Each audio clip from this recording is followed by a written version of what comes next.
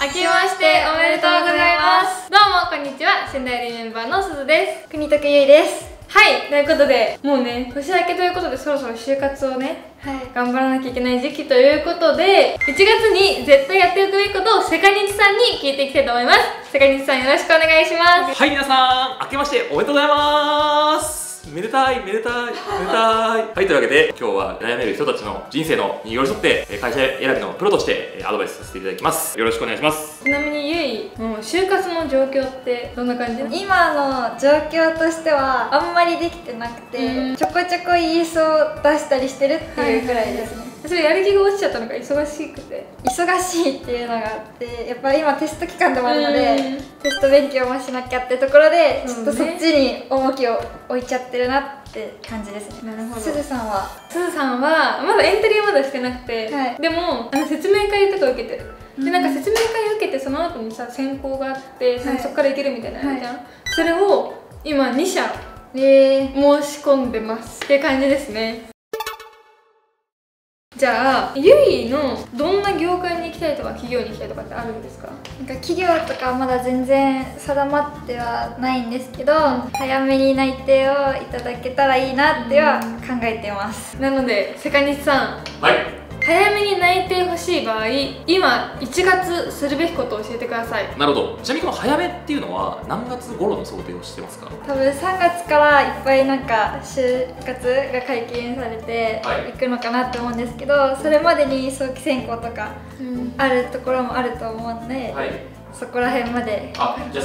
2月中にという感じですかね。そうですねなるほど、なるほど。では、えっと、まあ、10年以上私は結構就活生の悩みに乗っておりまして、結構共通してるなっていうのがあります。っていうのも、毎年解禁日ってあるんですね。今回は3月1日にドカーンと解禁になるわけなんですよ。その解禁日って皆さんが予想してるより100倍ぐらい凄まじくいろんなことがブワーってくるって思ってください。なんで3月1日から3日間ぐらいはもう就活のことばっかでパニックになっちゃう人が多いんですね。なので基本パニック確定だと思ってください。つまりパニック確定なのでパニックならなるべくならないように1月中2月中にできる準備を進めておくってことをしてください。できる準備は何かっていうと大きく分けて2つぐらいかなと思ってまして、まあ、1つ目は ES ですよね。これはなぜ私がこのメディア業界がいいのかとかなぜ私が食品業界がいいのかと業界ぐらいまでに関しては ES は用意しておきましょう。その上でもう1個 ES ともう1つあるのが社員訪問をしましょう。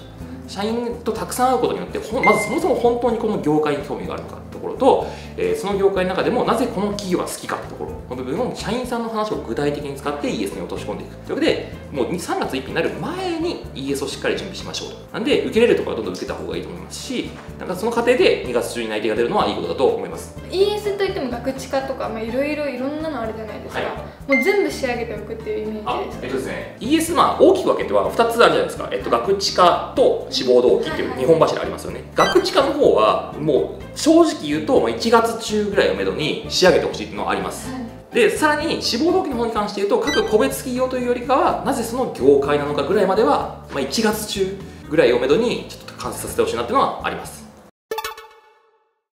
結構もう基礎のところはできていて就活そこそこ進めてるっていう人はプラスアルファで何かできることとかなるほどなるほど。僕のですね10年以上の経験によるとですね、えーそこそこできていると思っていても実は自己満足で終わってるケースって結構あるんですね。なんで私結構できてるなよしっていう風にこう安心しない方が良いっていうのが結論です。ちょっと話戻って OB 訪問の方行っちゃうんですけど、今やってますか？全然できてないです そういうことです。その今 OB 訪問してない理由って何かある？やり方が分かんない。っていうのとあと何を聞いたらいいのか分かんないっていうのがあって、うんうん。ちょっとまだ手が出してないなっていう感じですね、はいなるほど、えっと、やり方がわからないに関して言うと幸せは、えー足元に落ちているから気づかないのでございます実は実はすごく近いところに落ちてるんですよ。幸せは。というのも近い先輩を頼ってください。この旬ダイアリーの、まあ、ダイアリーメンバーにはあの就活を頑張った23卒のメンバーがたくさんいますよね。その先輩方にまずは頼る。っていうことをすると。でその先輩方も A 社にしかつながれないと思いきや実はあのその人が就活時代に X 社 Y 社 Z 社っていうのところにいろんなところに社員訪問してる可能性があるのでそこから紹介してもらえる可能性があるんですね、まあ、さらにはその、まあ、X 社志望してますと。23卒同士の横のつながりで X 社の内定者とつながってるケースがあるのでもうダメ元でつながりを近い先輩にお願いしてみるっていうのがまず第一。次何を聞いたらいいかわからないに関して言うとこちらも自分が思ってることを率直に言ってくださいこれは隠しちゃダメです。自分が今人生すごく不安で悩んでいて困っていますっていうふうに率直に言った方が良いです。で国徳さん自身がですね3年後とかに社員訪問を受ける立場になるわけですよ。えもし3個下のえ人が本当困ってます助けてください国徳さんって言われたらどうしますか？助けます。それと同じなんですよ。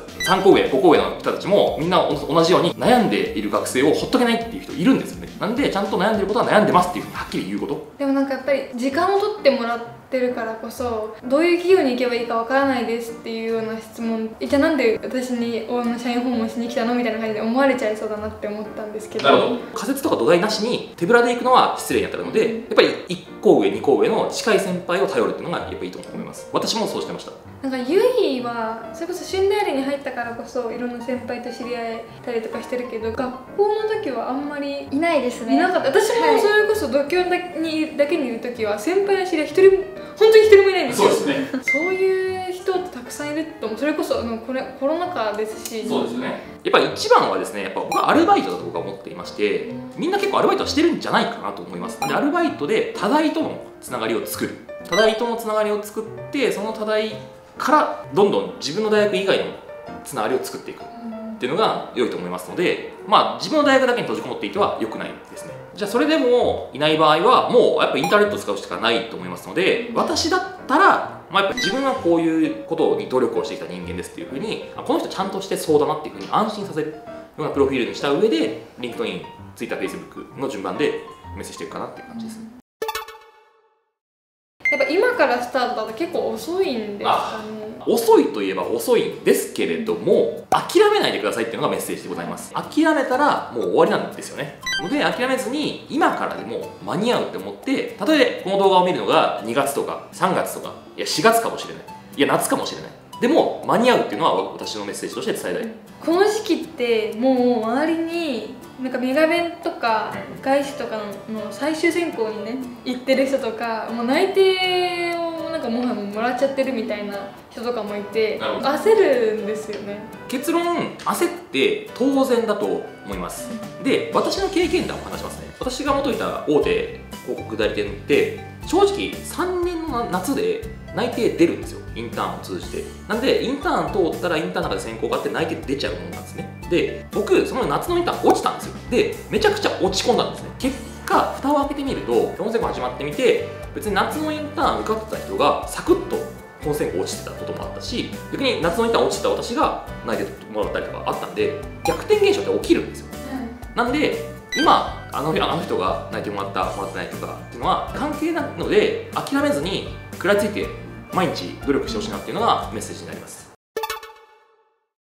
はいということで今日は1月の伸び方を聞いてきたのでねはい。これを見て皆さんも頑張ってくれればなと思います。私というも24卒なのでね、はい。皆さんと一緒に頑張っていけたらなと思います。はいということで南さん最後に就活生にメッセージお願いします。皆さんこれから就活があり面接があると思います。でそしてあの落ちることってあるんですね。なんですけど落ちても落ち込みすぎないでくださいというメッセージでございます。やっぱりあとその面接官とたまたま合わなかったというマッチングの話でございますので優秀だから受かる。優秀じゃないから落ちるってわけではないですね。あくまでもマッチングしなかったなというふうに思ってポジティブに切り替えて落ち込みすぎずにえー次に臨むというふうにしてください人生はすごく長いので就活はむしろスタートラインです。これから就活が終わった後にもっともっと大きな人生の挫折とか後悔とかっていうのはいっぱい起きてくるんですね。なんであくまでもスタートラインだと思ってあのこれから歩んでほしいなというふうに思いますので応援しております。ありがとうございます、今日この南さんに教えてもらった後に大手メーカー企業にね内定したキーちゃんのね1月のスケジュールと、まあ、キーちゃんが考える1月にこれやっとけっていうのを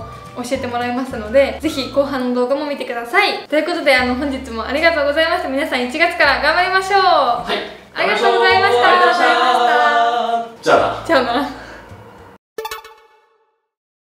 はいということで後半なんですけどキーちゃんに来てもらって就活のね1月のスケジュールを聞いていきたいなと思います。じゃあキーちゃん早速1月はどんなことしてたんですか？そうですね。まず就活っていうとこころからお話しするともう大きく2つやっていて1つ目が冬インターンの参加。12月にあの面接とか、まあ、ウェブテストの選考を受けて受かったものが、まあ、1月2月に結構あったのでその最初の方の冬インターンを受けてました。で2つ目が本選考のエントリーシートの提出っていうところをやってましたあの早期選考の締め切りが早い ES を中心に書いて添削してもらって提出するっていうのを繰り返してやってた時期です。なるほどね。ちょっとスケジュールをはい。ここに表示させてそうですね。お話ししていければなって思うんですけど、はい。どのぐらい就活の予定入れてた？一日に。何社ぐらい見てたの？その時期は。この時期は